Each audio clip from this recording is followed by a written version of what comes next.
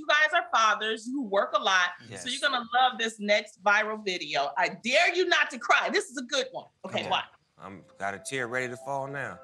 Oh, oh, wow.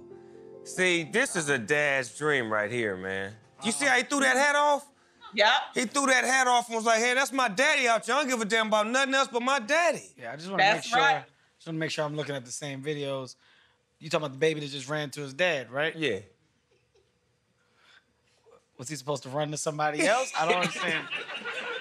I don't understand. There was no, there was nobody else out there. It's not like, it's not like somebody else got out the truck and he made a decision. It was one man that stepped out the truck, and the man probably said, "Son, come here."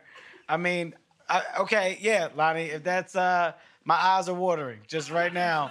I'm uh, I'm I'm a mess. If you look at me, that's an adorable little boy, Lonnie. Thank you for that. That's great. Okay, okay. I got one more. Oh. Okay.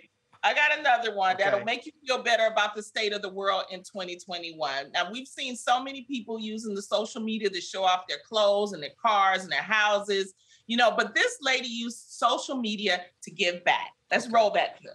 Let's see. I don't Let's mean to the turn the flash on, but we have a surprise for you. We know things have been crazy this year, but we want to make it a little bit better and we want to make your night and we're going to tip you a thousand dollars. No problem. No. no. We're tipping No. you a thousand dollars. no. no. Yes. Don't do that. Are you sure? A hundred percent. No, that's a lie.